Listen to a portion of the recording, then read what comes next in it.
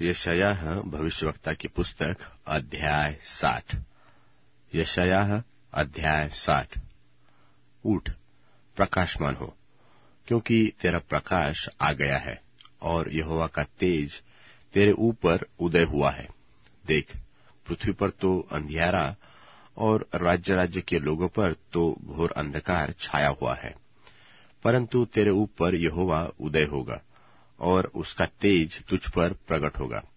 और अन्य जातियाँ तेरे प्रकाश की ओर, राजा तेरी चमक की ओर चलेंगे।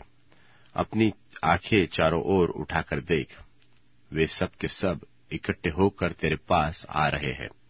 तेरे पुत्र तो दूर से आ रहे हैं, और तेरी पुत्रिया गोद में पहुंचाई जा रही है। तब तू इसे देखेगी, और तेरा मुख चमकेगा, और तेरा हृदय थरथरा जाएगा, और आनंद से भर जाएगा, क्योंकि समुद्र का सब धन और अन्य जातियों की धन संपत्ति तुझको मिलेगी। तेरे देश में ऊंटों के झुंड, मिद्यान और इपादेशों की साणनियाँ इकट्ठी होगी। शिवा के सब लोग आकर सोना और लोबान भेंट लाएँगे और यहोवा का गुणानुवादन आनंद से सुनाएँगे। केदार की सब भेड़ बकरियाँ इकट्ठी होकर तेरी हो जाएगी। नबायोत के मेंढे तेरी सेवा टहल के काम में आएँगे।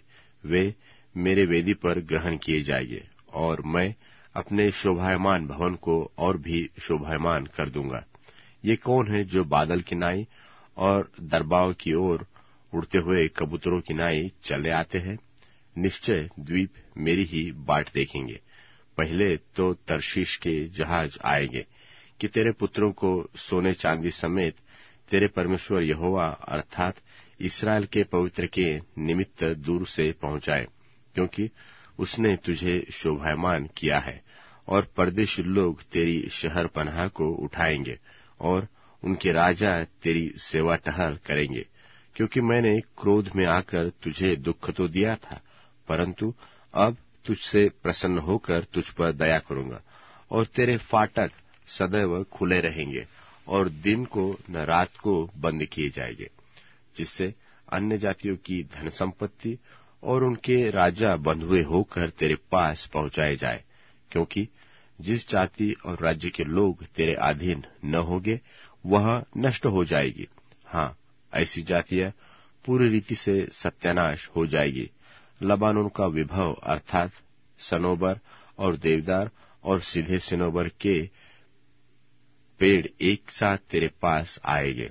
ताकि मेरे पवित्र स्थान को सुशोभित करे और मैं अपने चरणों के स्थान को महिमा दूँगा और तेरे दुख देने वालों के संतान तेरे पास सिर झुकाए हुए आएँगे और जिन्होंने तेरा तिरस्कार किया था, सब तेरे पाँव पर गिरकर दंडवत करेंगे और वे तेरा नाम यहोवा का नगर इसराइल के पवित्र का सियोन रखेंगे।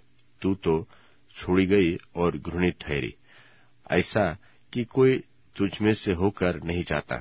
इसकी संति मैं तुझे सदा के घमंड का और पीढ़ी पीढ़ी के हर्ष का कारण ठहराऊँगा, और तू अन्य जातियों का दूध भी पी लेगी। हाँ राजाओं की छातियाँ चूसेगी, और तू जान लेगी कि मैं यहोवा तेरा उद्धार करता और छुड़ाने वाला और याकूब का शक्तिमान हूँ।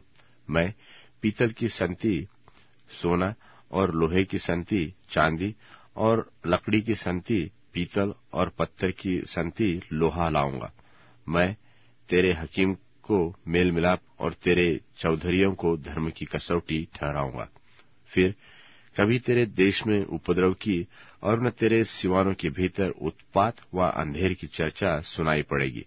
परंतु तू अपनी शहर पनाह का नाम उद्धार और अपने फाटकों का नाम यश रखेगी। फिर तेरा उजियाला दिन को न सूर्य से होगा, न चंद्रमा के चमकने से। परंतु यहोवा तेरे लिए सदा का उजियाला और तेरा परमेश्वर तेरी शोभा ठहरेगा। तेरा सूर्य फिर कभी अस्त न होगा और तेरे चंद्रमा की ज्योति मलिन न होगी, क्योंकि यहोवा तेरी सदैव की ज्योति होगा और तेरे विलाप के दिन समाप्त हो जाएँगे और तेरे लोग सबके सब धर्मी होंगे। वे देश के अधिकारी सर्वदा रहेंगे। वे मेरे लगाए हुए पौधे और मेरे हाथों का काम ठहरेंगे, जिससे मेरी महिमा प्रकट हो। सबसे छोटा एक हज़ार हो जाएगा और सबसे नीच एक सामर्थ्य जाति बन जाएगा। मैं यहोवा ठीक समय पर यह सब कुछ शीघ्र पूरा करूँगा।